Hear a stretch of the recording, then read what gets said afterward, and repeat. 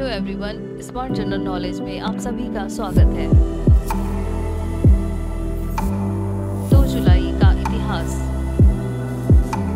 दो जुलाई 2020 को भारतीय रेलवे ने 2.8 किलोमीटर लंबी ट्रेन चलाई, जो भारतीय रेल इतिहास में अब तक की सबसे लंबी ट्रेन मानी जाती है। इस ट्रेन का नाम शेष शेषनाग दिया गया।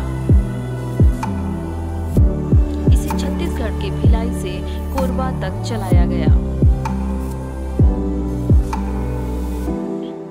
होम्योपैथी का आविष्कार करने वाले सैमुअल हैनीमैन का पेरिस में 2 जुलाई 1843 को निधन हो गया था।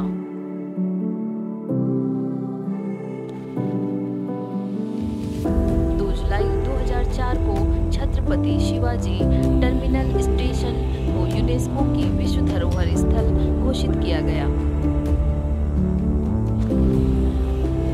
23 जून सत्रह को बंगाल की सेना रॉबर्ट क्लाइव की सेना से हार गई। हार के बाद 2 जुलाई सत्रह सौ सत्तावन को सिराजुद्दौला को पकड़ लिया गया। 2 जुलाई सत्रह भारत के इतिहास का एक काला दिन है।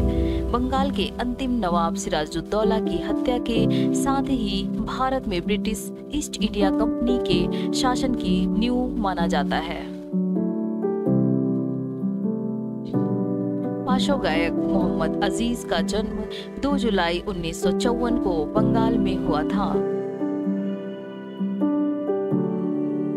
अमिताभ बच्चन की फ़िल्म मर्द के टाइटल गीत में मैं हूँ मर्द तांगे वाला से वह रातों रात बॉलीवुड के पाशो गायकी के सुपरस्टार बन गए।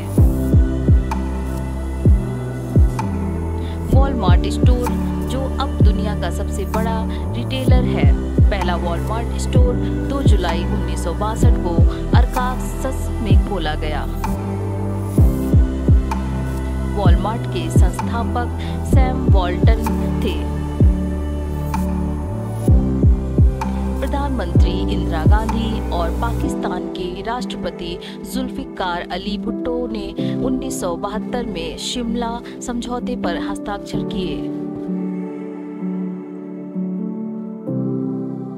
1971 को भारत पाकिस्तान युद्ध के आठ महीने बाद इस पर हस्ताक्षर किए गए थे।